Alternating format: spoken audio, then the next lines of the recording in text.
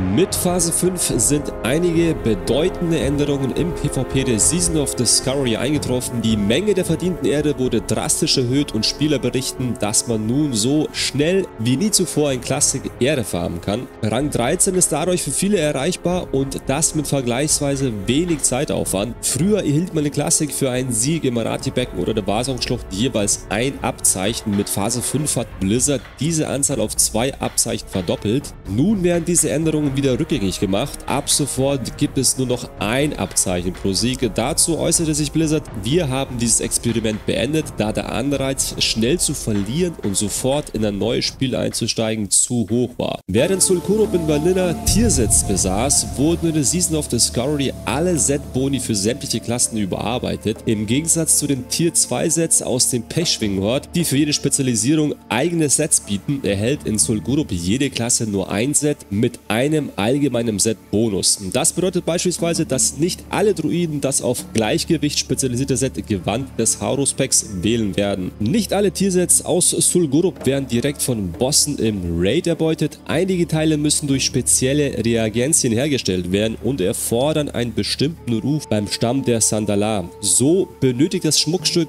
Wushulais Amulett der Natur beispielsweise einen neutralen Ruf beim Sandala-Stamm. Um es herzustellen, muss man eine durchstochene Voodoo-Puppe aus den verwunschenen Hoodoo-Haufen im Raid plündern und diese mit Gegenständen von vier verschiedenen Bossen kombinieren. Im Gegensatz dazu verlangt die Sandalari Tunica des Haurus-Packs einen ehrfürchtigen Ruf, aber nur den Token urzeitlicher Hakari Wappenrock. Vier Token können von den fünf Hohepriestern sowie von Jindo dem Verhexer und Blutfürst Mandokir erbeutet werden. Die urzeitliche Hakari-Götze ist in der Season of Discovery keine neue da sie schon immer zum Erwerb von Kopf- und Beinverzauberung genutzt wurde. Neu in Phase 5 sind jedoch die verschiedenen Varianten für alle Spezialisierungen. Um eine dieser Verzauberungen zu erwerben, müssen sie eine urzeitliche Hakari-Götze von Blutfürste Mandokir, Jindo den Verhexer oder AK erbeuten, sowie eine für die Klasse spezifische, durchstochene Voodoo-Puppe, die im Raid in den verwunschenen Voodoo-Haufen zu finden ist. Diese bringen sie dann zu Sansa, dem Ruhelosen, der in Sansas Einhöhe in Sulgrub steht, um die gewünschte Verzauberung auszuwählen.